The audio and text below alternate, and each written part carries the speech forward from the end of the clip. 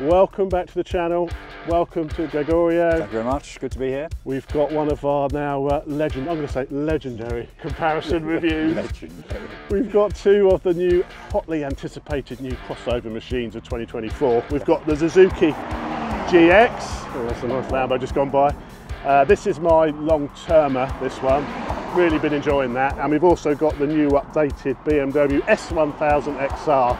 This is the M Sport version. This is actually a 21,500 pound motorcycle. So Yeah. we're doing, what, we're, what we're comparing is, you could argue is a little bit unfair because we're comparing a 21,500 pound motorcycle to a 14,000 pound motorcycle. Yeah. But they're both doing the same thing. But, but So- in fairness, the M Sport is just a trim, isn't it? It's not. It's not a fundamentally different model like the MXR. Exactly, So yeah. it's still It's still it's still a fair still comparison. still- But we'll, we'll, we'll consider price in that whole kind of consideration Exactly, factor. Yeah. exactly. So if you're interested in these new crossover motorcycles, then uh, you know what you got to do. Make yourself a cup of tea, make yourself comfortable, and chop the roll the intro.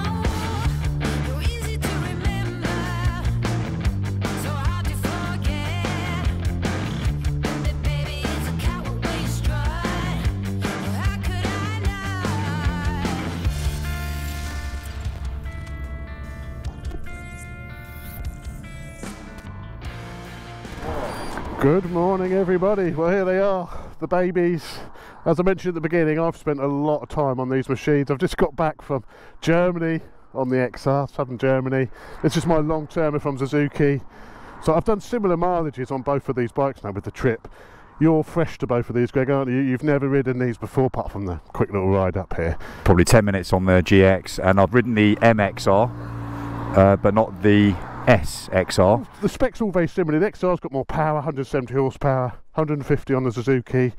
The XR's a tiny little bit lighter. I think it's about 230 kilos on the GX and 227 on here. So it's very, very similar from a weight perspective. You know, all obviously doing the same sort of things, bringing those superbike engines into a comfortable chassis with long suspension and for doing serious miles on. But uh, this is going to be a good one, mate. I know this is obviously a lot cheaper. The GX is about 14,000 without any luggage. This is the M Sport XR. So this, with the bits and bobs it's got on, is twenty-one and a half thousand pounds. So there's a massive difference in price. There's a big price difference. And what what would you say, just quickly, are the main differences in spec between the two, or are they similar in terms of gadgetry? There's more gadgetry on the BM. So you, you've got forged wheels with the M spec. So you've got forged wheels on the M. You've got a few more toys, hill hold control. Uh, they've both got electronic suspension. But that's it. I think hill hold control's the only. It's not a lot then, is it? It's, so, so it's Not forged wheels, hill hold control. So in terms of actual usable gadgetry, cruise control, quick shifters, electronic suspension, Yeah. that's they're the same, aren't they? They're, Yeah, they're the same. heated grips is the only thing, but that is an extra on this. It's not included in any of the packs. You have to add it as an extra. So it's always the same as the Suzuki. It is an extra, and this has also got a side a centre stand, which is an extra, and the luggage rack is also an extra for the top box on the And XR just a well. final question: the Akra can is that is that part of the M That's part of Sport? the M Sport pack. One thing you notice on the Suzuki straight away is just how smooth that engine. The engine on this is so refined. Honestly, it's almost electric smooth. It's very smooth, isn't it? It's and the quick shifter blipper's really nice on it as well. It's so nice, so easy. And I've spent, I've even done a track day on that GX at Cadwell Park, and it's surprisingly good. One thing we have changed on it, or I have changed, it's got, it's not got the standard rubber anymore. The standard tyres are not very good on that bike. The OEM Dunlops it comes with, not great. So I've put a set of uh, Dunlop Sport Smart TTs, which is sort of a fast road track tyre. so it's got some proper sticky tyres on it now which is what it needed. It the standard rubber is not very good at all. Whereas the XR's got some Pirelli Rosso Diablo 5s on, so again, nice sticky, sticky rubber. How are you finding the riding position on it? It's, it's, it's very nice. It's very, very comfortable, very natural. It's a little bit more, inverted commas, cramped than I was expecting in relative terms. So your legs are quite bent up, the pegs are fairly high. Um, but it is very comfortable. And the thing that I've noticed really quickly is how plush the suspension setup is really, it is really good for UK roads. And some, some, some of the bumps back there, I know from riding this road regularly, are quite harsh, and this is just glides over it. Beautiful. The suspension on the Suzuki is its superpower. It's that Showa system and it is excellent. There's a really good uh, sort of range between the soft and the hard and you can also go in and tune it where you want it as well by plussing and minusing on the standard settings and I'm not sure you can do that on the XR. I think the Suzuki wins from a suspension point of view. And this is in me medium damping at the moment, isn't medium it? Medium damp, which I find is more or less perfect for everything, to be honest. With the tyre change I've done, I've actually fitted a 55 profile rear tyre, so I have pitched the bike up a bit more on its nose by fitting a 55. It's a 50 standard. I think that's a worthwhile improvement on that machine as well. And that hasn't messed with any electronic stuff. Changing the tyre circumference hasn't messed with any electronic doodahs. And because the speedo is from the front wheel on that bike you haven't got to worry about any gearing alterations either. Oh I've got my hill hold control on mate. Hill hold control. Oh get you. Very nice. That was six grand well spent then wasn't it? An extra four and a half grand well worth it. A hoon up the hill climb. Well, it's a bit damp be careful a little bit down. What, your underpants or you want about the road? Obviously my pants. Yeah, the, the, the XR, the tyres are. It's got a lovely feel from the XR, I have to say. You can slide around on the seat on it as well. Get your knee out if that's what you want. The Suzuki's good though. It's good, it's it? surprising. Yeah, it's surprising. Yeah. What I've noticed on the Suzuki actually, the front end feel is also nice, which sometimes on the sort of crossover bikes I find a bit lacking. Yes. But I actually feel really quite confident in what the bike's doing, which I really do like. I completely agree, and that was one of the best things about that bike as well, is the front end feel. Yeah, it's it, nice, it goes it? exactly where you point it, doesn't it? It gives you good feedback. It's a really nice front end on that machine, and it's the same on the XR. It, it it's just, feels exactly the same, but you're right, you don't always get that with this sort of bike. No. And uh, yeah, it's got a really nice front end feel on that.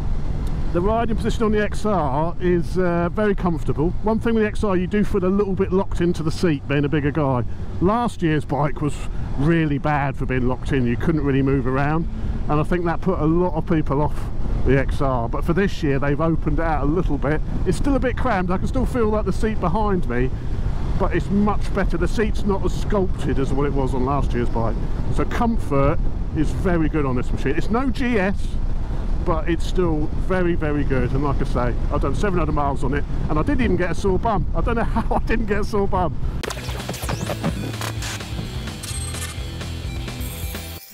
One thing on the uh, the XR it's a little bit tricky to find neutral. You've got to do that little bit of hunting for neutral on it sometimes. That's fairly common on it's BMWs common I think on isn't, BMW, it? isn't it? But the gearbox on the Suzuki. Yeah, it's, brilliant it's it is perfection. I, th I think Suzuki's always nailed their gearboxes, haven't they? And that is yeah. exactly the same. It's it's perfect. Quick shift is perfect as well. So smooth. Yeah. It's so smooth. Lovely. It's actually very impressive. You know, one of the things I want to talk about a little bit later is actually just the looks of both of them because I know they're subjective, but it's a little bit strange looking the Suzuki. I think, particularly at the front end. Um, just that sort of stacked headlight. It's I don't know. Would it win a beauty contest? I don't know. I think it, it's it's an absolute supermodel compared to the GT version, though, isn't it? oh, that is true. That, no, that, that's true. Compared yeah. to the GT version, it's yeah. The GT looks like the runt of the litter, doesn't it? Yeah. it's it's Pamela Anderson compared to the uh, the GT. But I like the blue. I really yeah, like, I like the, blue, the blue, With, with the sort of silvery grey and well. the gold forks gold wheels and the nice, don't they? Gold blue forks wheels. even. Gold forks. Did I say wheels? You said gold wheels. gold, gold, gold forks and the blue wheels. I, yeah, that's definitely the colour that I would go for. And then yeah, I like the. Um, I do like the colour scheme of the BMW actually, and I think it, it does look a little bit more manly. I think. Yeah. I don't know if that makes any sense, but do you know what I mean? I'm, I'm with you. I'm with you. And I like Yeah. the, the what I, what I like the, I like these little grills. I thought only the Yeah. M had these little grills on the back here, but it's sort of Yeah, standard on both nice. of the bikes. Do I need the key? No, it's in the cubby. You've got a nice Ah, little cubby on the on the XR, which is nice. So the keys in the cubby.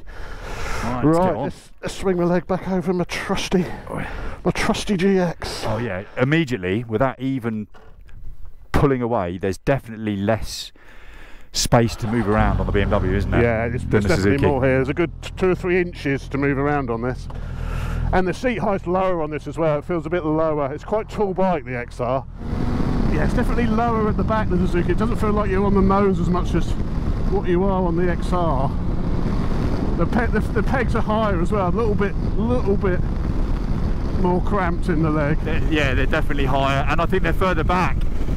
They're a little bit further forward on the BMW. Yes, the whole bike seems a lot a bit smaller. It does definitely seem smaller. I think so. Yeah, suspension is gorgeous on this. It is very, very plush.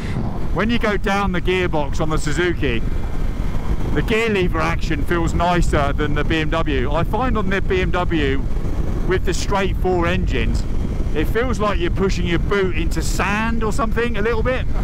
A little bit over damped or something, sort of thing. Yeah, I- yeah, Yeah, it's more of a Where mechanical feel on the Suzuki, isn't there? yeah. I think I prefer the feel of the Suzuki gear lever action. I'll tell you one thing I'm noticing, that the XR's definitely got more punch in the mid-range. When you open up, it pulls harder in the mid-range for sure. I think that that's one slight criticism of this bike. The mid-range is a little bit weak. And I'm sure that's just a Euro 5 mapping tuning type thing. I'm sure if you were sort of to change the pipe and get this tuned, you'd get a masses of mid-range back on it. And it's something I'd like to do actually as part of what my long-term experience with this bike. If Suzuki will let me. Just in terms of um, ergos and riding position, you're, you're sat taller on the BMW. You're I- I've- definitely I've- taller, aren't you? Yeah, you, you, definitely. It feels quite a bit higher. But you're right about the front end on the Suzuki. It's very, very nice, isn't it? It's nice, isn't it? Yeah, it's really nice. It feels natural and you really can feel what's going on and it's, yeah, confidence inspiring. I, I think it's. I think that I think there's nothing in it on the front end. I think both the front ends on these are really nice. And I think from a handling, this is something we didn't really get to test on the launch because they had the rubbish tyres on it standard. Also, the routes they took were pretty diabolical. But this is actually a real performance machine They're in the twisties. You'll be surprised what this bike can do with some decent rubber on. It doesn't feel it's playing second fiddle to the XR around the twisties. Oh, I've stalled it again. That's twice I've stalled it now. How weird's that?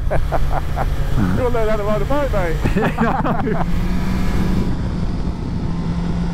oh yes, this is all, it's all coming back to me now. Very familiar from my Cadwell Park thrashings. You can move around on the Suzuki as well. Get your leg out.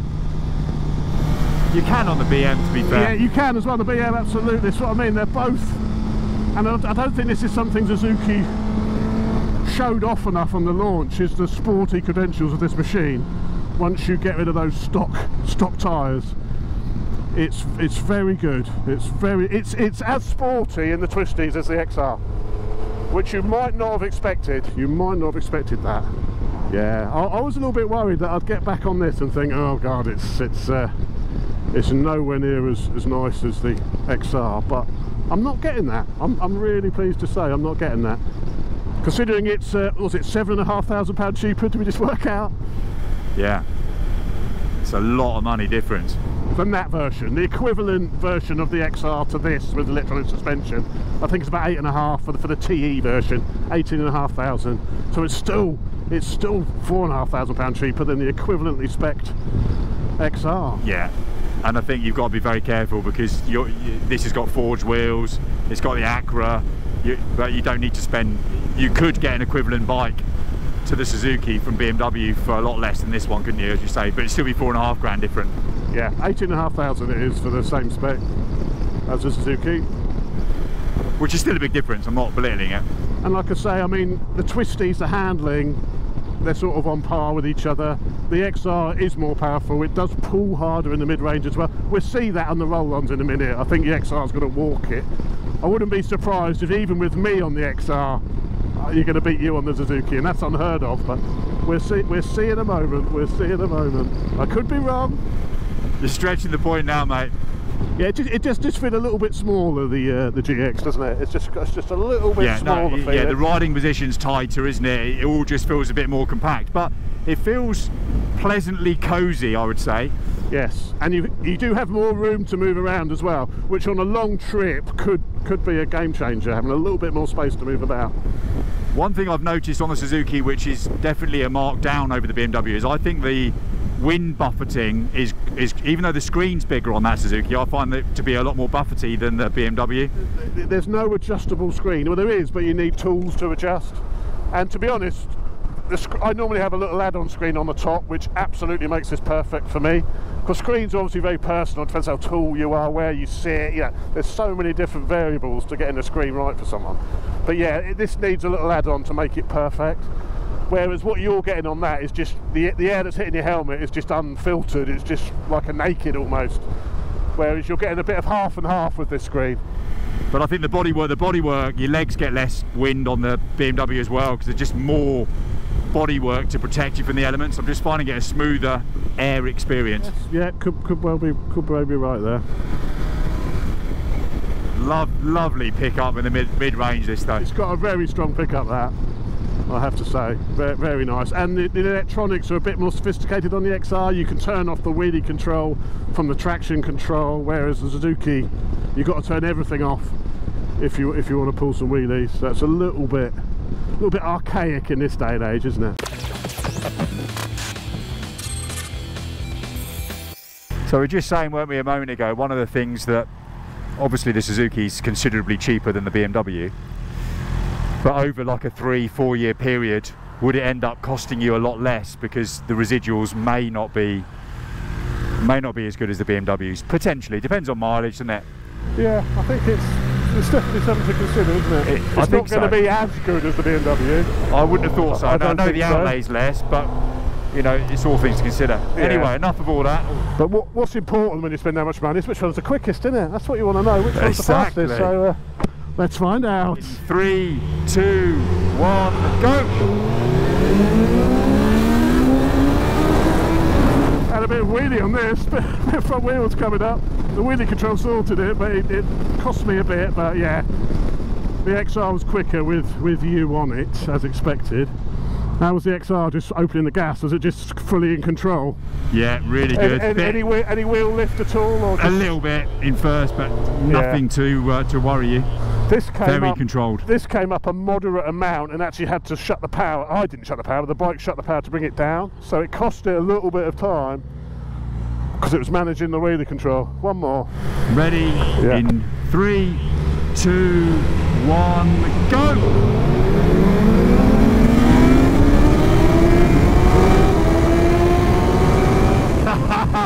Hmm, should we do a quick swap? And uh, Yeah, let's swap here. uh, we need. I needed to get the panniers and fill them with concrete, and then it would have been about equal then, wouldn't it? Concrete. Put of con- the bags of cement in the uh, in the panniers. As you rev it through in first, it lifts the wheel a little bit, but it's all under control. You can just leave it pinned. The electronics have got you covered. Well, I'm trusting you, and I'm trusting the bike. Trust in Suzuki. and Trust in that little host of Jap- little Japanese fellow who spent all that time programming the wheelie control. Right, another little roll on. So we've got Gregorio on the Suzuki, slightly less power. So let's give it a go. In three, two, one, go!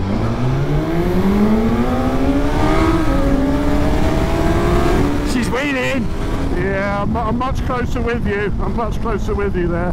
The BMW is faster, but it's not leagues different. It's not as big a difference as I thought it was going to be. No, Once, once that Suzuki gets past 8,000 revs, it flies, doesn't it? big time. Okay, so let's do a roll on. In uh, three, two, one, go!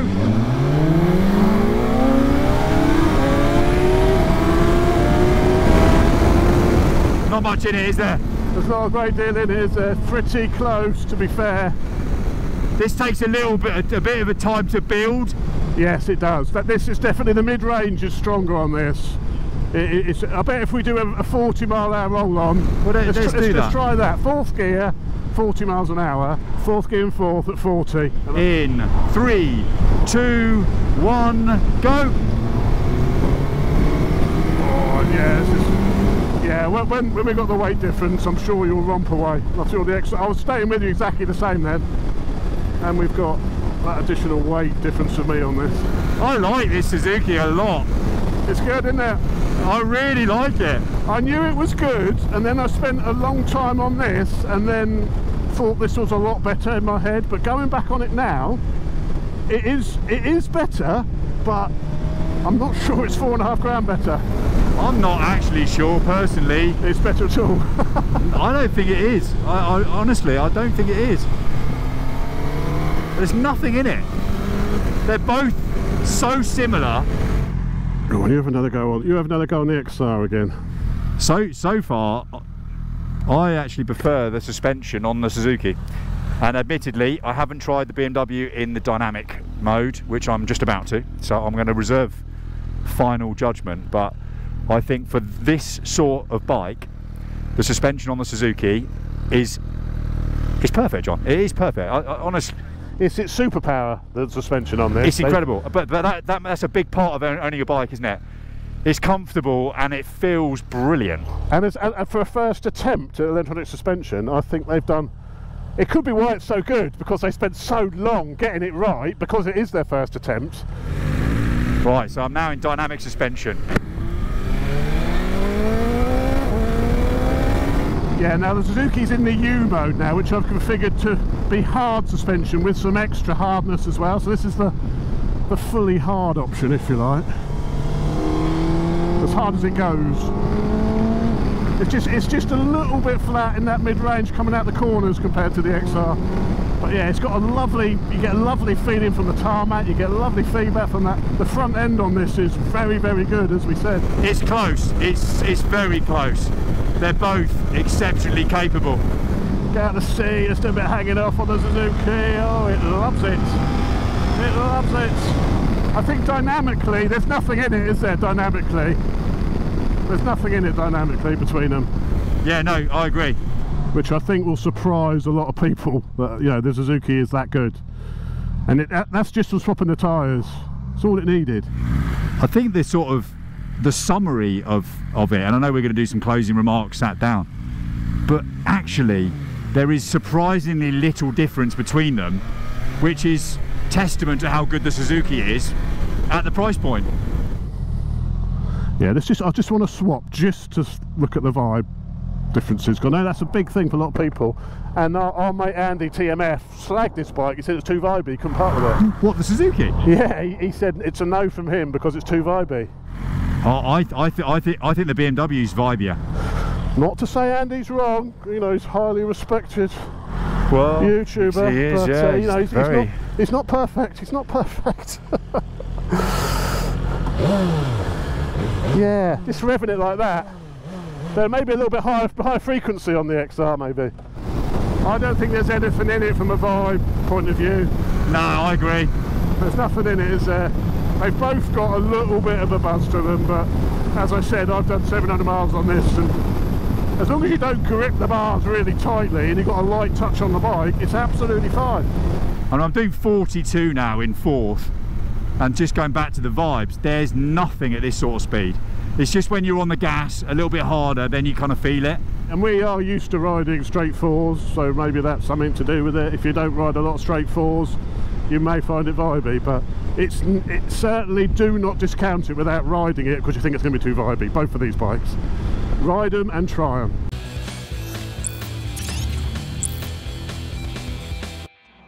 There you go, mate. What a what a lovely little morning riding again. cheers. Have you tested the old doodle? Yeah, house? it's all sorted. We're back at the White Horse Pub. This is a bit of a bit of a favourite. This one, isn't it? It's a good It's spot. just in between sort of Havant and, and Chichester sort of way. It's a really nice Yeah. little spot. Really nice. We just ordered a couple of baps, sausage and egg baps on the way. Can't wait. It's going to be nice. Yeah, we're about half an hour away from Goodwood. Yeah. Um, I would say. So it's beautiful, right out in the country. Yeah, it's really nice. actually very busy road-wise. Well, very busy for this area. It's busy because of the Festival of Festival Speed. Speed Zone, So there's a lot of people which we did roads. attend on Friday and, and, and up the hill climb p- Paris, didn't we? So there's a video for that coming up. at the top there somewhere. Yeah, that was it may be out already. fantastic experience. Yeah, it was. But anyway, enough, enough, Enough of that. So I'll be really interested to hear your thoughts as the first time you've ridden both bikes because I've Yeah. spent a bit more time on them. What, Yeah. what, what's, what's your feeling of each? Well, I think I'm surprised at how uh, much fun they are because I, I always assume a crossover bike's going to be a little bit utilitarian and a little bit boring, but they're not. They're not boring at all, actually, and very, very enjoyable.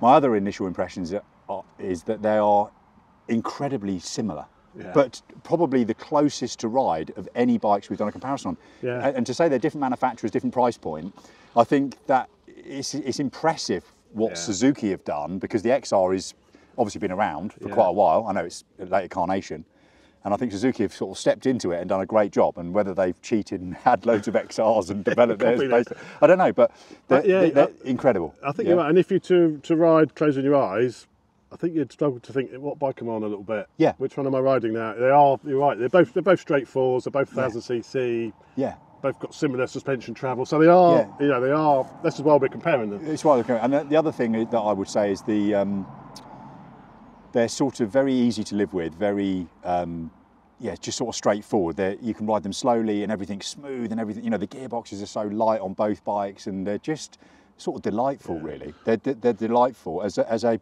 bike to use without any annoyances. Yeah. They're right up there. and I think what is really impressive is just how well they handle, how much fun they are when you Yeah. chuck them around. No, is, is our, our Yeah. Oh, and as if by magic, Bap- Bappage, bit of Bappage. I like a bit of Bappage. Bit of Bappage in the morning. Oh, we're going to eat these on camera then. Let's put some ketchup on then. Come on, do it. This is the sort of life you lead when you're a It's, it's, it's, it's hard life, this It's a YouTube hard life. business. It really is. Exactly. It is hard life. entertainment for the masses. Comes at a cost. Cut the bacon bats, sausage bats. I mean, it's very, very close. And, um, you know, I think if you're buying one of these, uh, either bike are impressive. And I think there's two things really that the only two things that I think you need to consider is if, if you're in the market for a crossover bike, then I think you're really down to the preference, your preference on the looks. Yeah. Yeah. Yeah. That's how close they are to ride. So Yeah. therefore, it's just which one do you like the look of, and then I think you've got to consider the price point. Yeah. And I think actually, other than that, there is nothing to call them between the two. The electronics, they all do pretty much the same thing. All right, they're slightly more sophisticated on the BMW, but for a bike of this nature, it doesn't matter. They're still perfect on the Yeah, Suzuki. yeah. I think the Suzuki suspension is, for me personally, and I'm 12 stone, so that might make a difference. But I think it works perfectly for me. It's It does for me as well, being really heavy. it? yeah. it doesn't get, it doesn't ever crash over no, bumps. and- perfectly damped. It's, It's perfectly damped, It's yeah. absolutely perfect, really. Yeah. And so it, it's very, very impressive. Um, I think there's a little bit more room to move around on the Suzuki Yeah. over the BMW, but it doesn't necessarily mean it's better. It feels a little bit looser, but I think, um, yeah, it's it, to call a winner today. I think is going to be very hard because there there isn't a winner because they are too similar. Yeah, I, Uh, I, I, if we're going to talk, I, personally, I've I spent a lot of time on both of these bikes.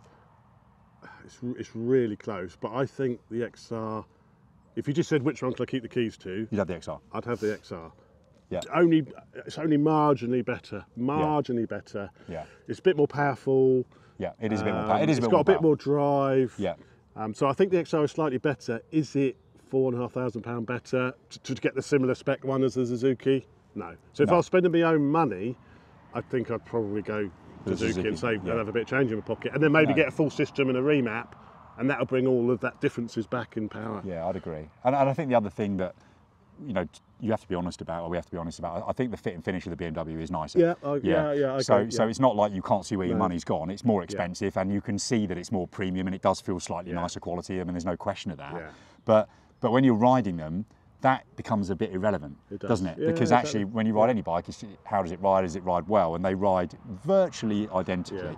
Yeah. And so I, I think I'm with you. I think if it was my own money for a bike of this nature, I think I'd go for the Suzuki. Yeah, I have to yeah. say, um, and, and that's not to take anything away from the BMW, but the BMW is getting quite Yeah, expensive, it isn't it? It's, it's getting Um, very expensive. And so yeah, And so it's, it's worth noting, I have changed the tyres on the Suzuki. The standard tyres really That's let the bike down, Yeah. and it makes a huge difference swapping the tyres. And over. do they only come, do you know, with one tyre, or is that just They the bike you come with had? the they tyre. only come they with one come tyre. with the, the OEM Dunlops, Yeah. which are really not even like a they're specially built budget tyre for the bike. Yeah. The Dunlop will say they're not what they'd even recommend to put on the bike. You know, they're, they're, they they need to come off, get something sticky on. Yeah. It transforms it. Gives you that confidence to, to Yeah. push it in and stuff, doesn't it? So, One thing we've got to do though, Greg, that's the XR and the GX. We need to bring the Tracer into this as well.